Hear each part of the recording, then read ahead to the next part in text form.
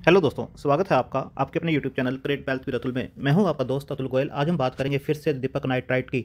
दीपक nitrite जो एक level के ऊपर रेजिस्टेंस फेस कर रहा है, वहाँ तक स्टॉक ज़रूर जाता है बट उसको ब्रेक नहीं कर पा रहा है। तो क्या वो रेजिस्टेंस लेवल है, उसके ऊपर ही बात करेंगे। कितना डाउन आ सकता है, उसके ऊपर भी हम बात करेंगे।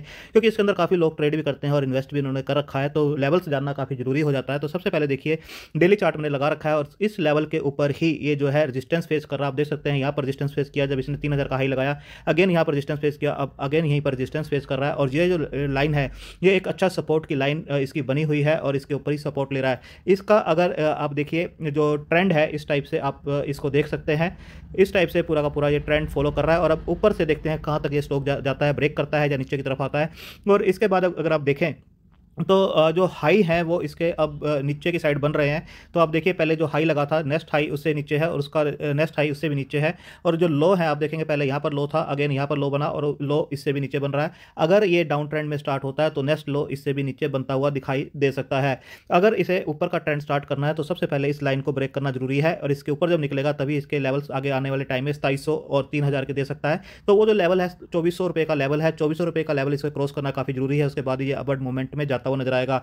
अब बात करते हैं टू आवर्स के बेस के ऊपर कि स्टॉक किस टाइप से दिखाई दे रहा है। तो आप देखेंगे टू आवर के बेस के ऊपर इस टाइप से ये स्टॉक नीचे के लेवल से ऊपर गया।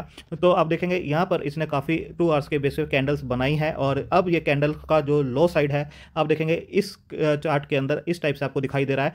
ऊपर गया अगेन नीचे आया अगेन ऊपर गया है और नीचे बिल्कुल अपने जो इसका सपोर्ट लेवल है उसके ऊपर आके खड़ा हुआ है। अगर इस सपोर्ट लेवल को ये ब्रेक करता है तो इसका जो नेक्स्ट लेवल बनकर आता है, सबसे पहले बाईस रुपये और देन इक्कीस रुपये और उसके बाद दो हज़ार के आसपास के मिल, मिलेंगे।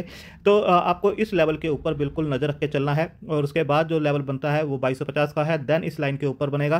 तो इन लेवल्स के ऊपर नज़र रखिए और हो सकता है यहीं से बाउंस बैक करे और अगर बाउंस बैक करता है तो पहला रजिस्टेंस लेवल अगेन मैंने जो बताया वो है चौबीस का, इसको निकालना काफ़ी ज़रूरी है। उसके बाद ही इसका मूवमेंट जो है ऊपर का स्टार्ट होगा।